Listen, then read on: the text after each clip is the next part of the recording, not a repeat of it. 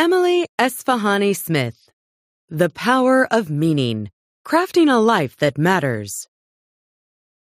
It's easy to go through life with a general feeling of blah. Repetitive work and not enough social contact can make anyone's daily humdrum feel shallow and devoid of meaning. These blinks make the case that this general malady of meaninglessness comes from our increasingly individualistic lifestyles. We tend to isolate ourselves in our work and look inward rather than outward to try and find meaning. These blinks will show you where to invest your energy and put your focus in order to live a meaningful life.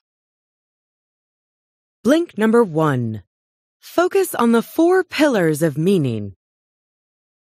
Take a minute to think about the current state of your life.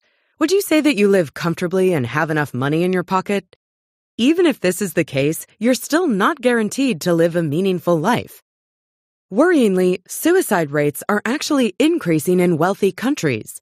A study conducted by the psychologists Shigehiro Oishi and Ed Diener in 2014 found that even though people from countries such as the United States and Sweden were generally happier than those in poorer countries such as Togo and Sierra Leone, the suicide rate was significantly higher in the wealthier countries. As for the reasoning behind this, the study discovered that although modern life has its material and psychological benefits, the constant focus on the individual can sap life of true meaning. In fact, when it comes to the concept of meaning, the study found that nearly a quarter of Americans couldn't say what makes their lives meaningful. This is especially concerning because, according to psychologists like Roy Baumeister, who has specifically researched what makes a good life, Having a meaningful life is far more fulfilling than having a happy one. In order to start your journey toward living a more meaningful life, you should maintain these four pillars of meaning belonging, purpose, storytelling, and transcendence. These categories constantly reemerge whenever people describe what makes their lives meaningful.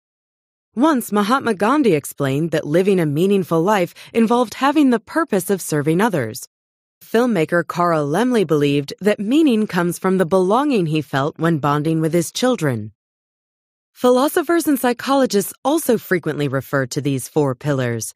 From Aristotle to Baumeister, it has been argued that meaning arises from belonging, having a purpose related to contributing to something larger, making sense of the world and your experiences, and connecting with something greater than yourself. By keeping these four pillars in mind, meaning can be discovered in both fresh and unexpected places. In the following blink, we'll start with the first pillar. You'll find out how a sense of belonging can lead to a more meaningful life.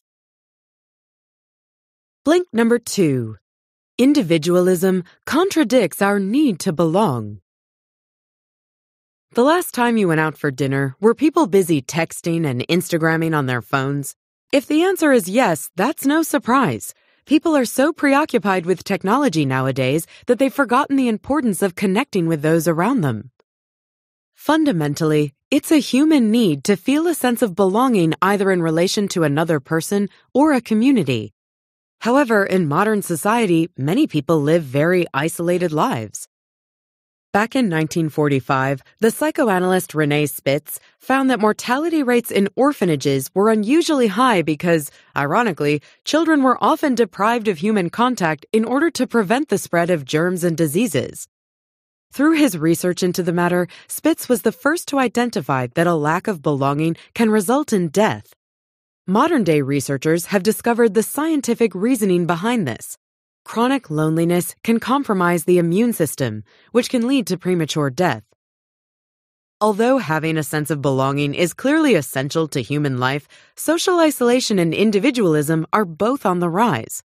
Increasingly, people tend to spend less time with their loved ones and more time in front of their phones and computer screens. To support this claim, take these findings from the General Social Survey. Back in 1985, a number of Americans were asked to recall the number of people with whom they'd had deep conversations in the previous six months, to which the majority answered three. In 2004, that answer dropped down to zero. This rise in individualism and isolation seems to be a major contributing factor as to why many people feel that they have a lack of meaning in their lives. That's why it's so important to honor belonging the first pillar of meaning. Surveys often conclude that people consider close relationships to be critical sources of meaning, and research often shows that those who are lonely consider their lives less meaningful. By focusing on your relationships with others, you can begin to make your life more meaningful. This doesn't only apply to intimate or profound relationships. Even the relationship that's formed when you smile at a stranger on the street is vital to fostering a wider sense of belonging in society.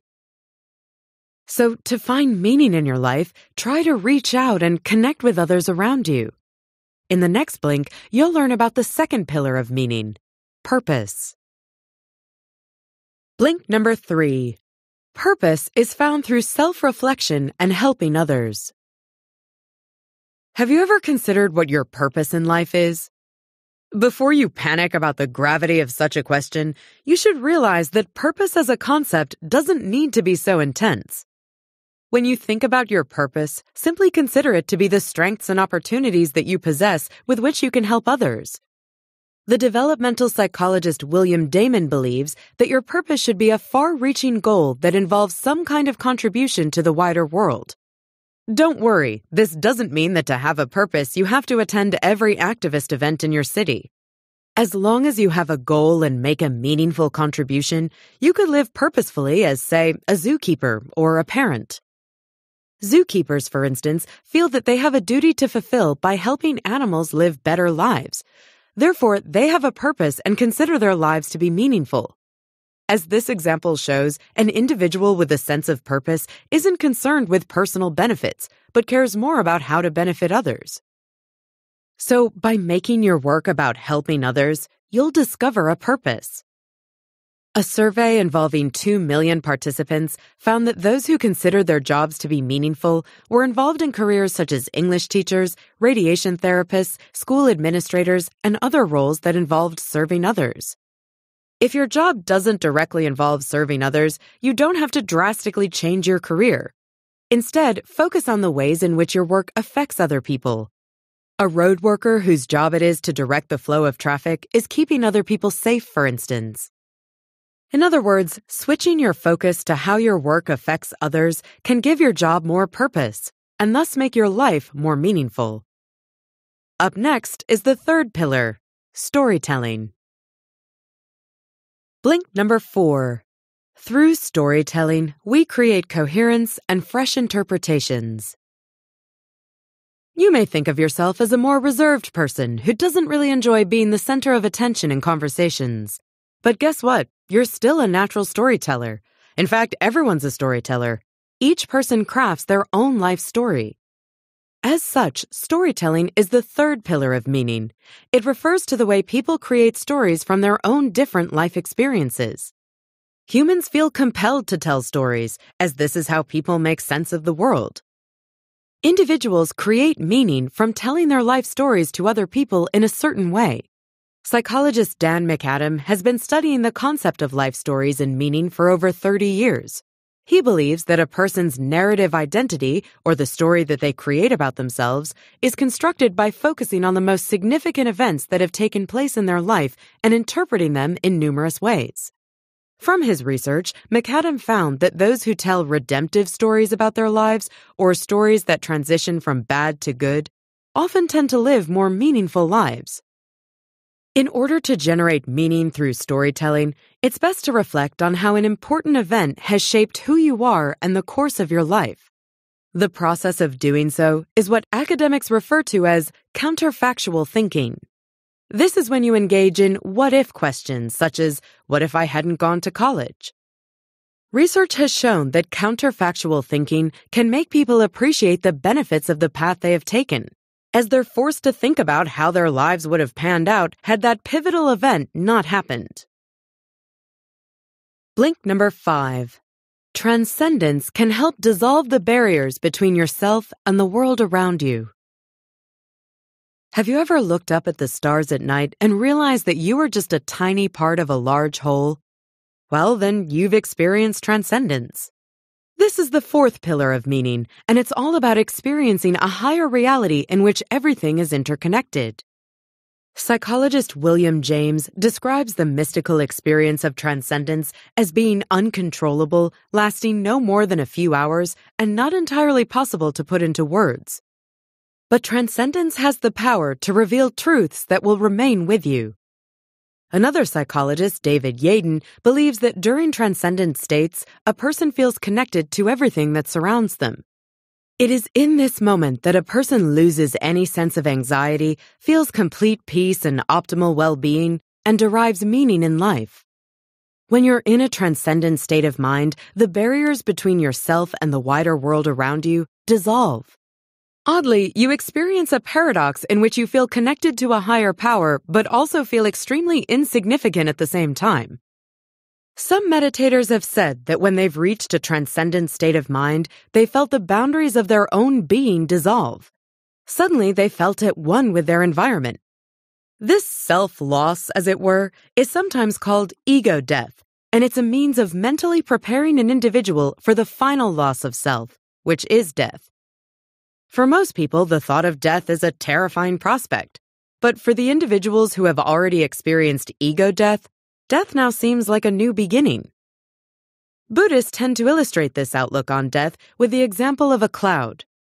If you think about the life cycle of a cloud, it doesn't perish when it disappears from the sky. The cloud simply changes shape into rain, which transforms into grass, and grass into cows and milk, and then the milk into the ice cream we eat. Transcendence serves the purpose of making people feel that everything is interconnected and that they will always exist in the universe in one form or another. It is a state of mind that gives meaning to life. Blink number six. Deriving meaning from trauma depends on how an unfortunate experience is interpreted. To paraphrase the philosopher Friedrich Nietzsche, what doesn't kill you makes you stronger. The truth of this statement can be experienced when you or someone you know goes through adversity and manages to come out the other side as a better version of themselves. By drawing upon the pillars of meaning, individuals can grow after experiencing trauma. This process is called post-traumatic growth and can happen in five distinct ways. Richard Tedeschi and Lawrence Calhoun, experts in post-traumatic growth, have identified the different ways in which you can grow after a trauma. The first is that your relationships can strengthen. Second, you can go on to discover new purposes or paths in life. Third, you can discover a newfound inner strength. Fourth, you can become more spiritual. And last but not least, you can feel a renewed appreciation for life. But why does this period of development happen for some sufferers of trauma but not for others? Well, it apparently has nothing to do with the nature and severity of the trauma, but rather the way the trauma is interpreted. The social psychologist James Pennebaker noticed that people who had experienced trauma in their childhood and kept it a secret had more health problems than the ones who spoke to others about it. As part of his practice, Pennebaker encouraged his subjects to spend 15 minutes each day for several days in a row delving into their deepest emotions and writing about the most upsetting experience they've had. The subjects who completed this act of writing down their thoughts and feelings about the trauma found that they didn't need to go to the doctor as much, suffered from fewer symptoms of anxiety and depression, and had a stronger immune system, among other benefits. When recounting their experiences, the subjects used insight words in their stories, such as I know, because, work through, and understand. This demonstrates that they were making sense of their traumatic experiences through their writing, the exercise allowed them to take meaning from their experiences and facilitate their own post traumatic growth. So, if you ever suffer through any adversity, it's best to try and make sense of your experience, such as by reflecting on the event through expressive writing, and thus derive meaning from your trauma. Blink number seven. There's been a societal shift towards exploring cultures of meaning. In modern society, the work and spend mentality is still very much in full swing. People tend to spend less time on fostering social connections and looking introspectively, and more time on constantly commuting and working late into the night. But in some sections of society, this setup is changing. Political scientists and economists have identified a new trend. People are becoming increasingly interested in spiritual rather than material concerns and are prioritizing purpose, knowledge, and community over money and consumer goods. This shift is due in part to several institutions and cultures that work to build connections, celebrate purpose, provide spaces for storytelling, and value transcendence. Take the example of the Future Project, an organization with a mission supported by the pillar of purpose. The project aims to help students pursue their purpose by placing guidance counselors called dream directors at schools in some of the roughest neighborhoods in the United States. The dream directors help the individual students follow their dreams by encouraging them to think big and helping them create a step by step plan. The students who have worked with the Future Project reported that they felt the positive effects of being involved in the initiative many years after. They felt that they were more engaged when it came to learning and had a stronger sense of purpose. Similarly, the Oral History Project StoryCorps is supported by the two pillars of belonging and storytelling. The project gives ordinary people the opportunity to tell their life stories in front of an audience in the story booth, an intimate space in which two people meet and honor one another through the act of listening. Their conversation is recorded and the recording is then given to the participants, while also being archived to give the stories an air of immortality. The author listened to the story that a woman by the name of Mariana told in the story booth about what motherhood and being adopted meant to her Mariana was deeply moved by the experience of having been listened to by the author, a complete stranger. She noted that telling your story helps you gain a better understanding of yourself, while also offering support to others dealing with similar experiences. By listening to other people's stories, you can take the first step toward cultivating meaning both within your own life and within society at large. Thanks for listening to our blinks to The Power of Meaning by Emily Esfahani Smith. The book's main takeaway is that you don't have to travel the world, end world hunger, or quit your job to live a meaningful life. You can find fulfillment by guiding your everyday life in accordance with the four pillars of meaning belonging, purpose, storytelling, and transcendence. So, how can you apply the concepts of these blinks to your own life? Say hi to the janitor. Start getting to know the cleaner or janitor at your work. One organizational psychologist, Jane Dutton, has found that no matter how small or fleeting, establishing high quality connections in your daily life can contribute to a greater sense of belonging and therefore give your life more meaning.